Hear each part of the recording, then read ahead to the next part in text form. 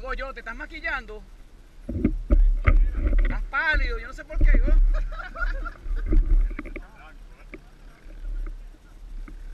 Lo de gafo está de más, ¿oíste? Lo de, de gafo está de más.